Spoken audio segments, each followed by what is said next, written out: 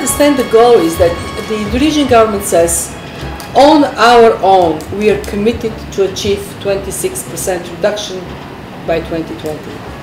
But if the world comes and helps us, we will raise this to 41%. And we in Europe are saying, great, we will help you to go up to 41%. Uh, and my, my, uh, my take is that uh, Indonesia is really serious and that achievements uh, are already being uh, uh, made. And that we, I mean, obviously I don't have a crystal ball, I cannot see what is happening in 2020, but I'm very hopeful that it will be achieved. And actually by doing so, it serves the interests of, of this uh, part of the world because your part of the world, this part of the world, is the most at risk of natural disasters.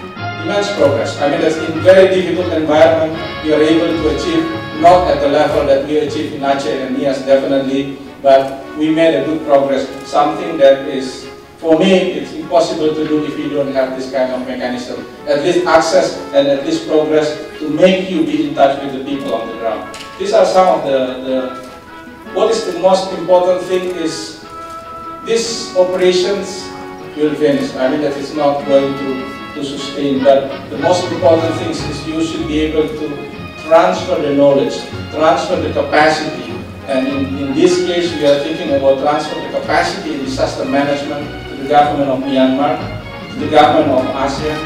We are able to transfer this capacity not just in disaster management, but also in managing development, development matters.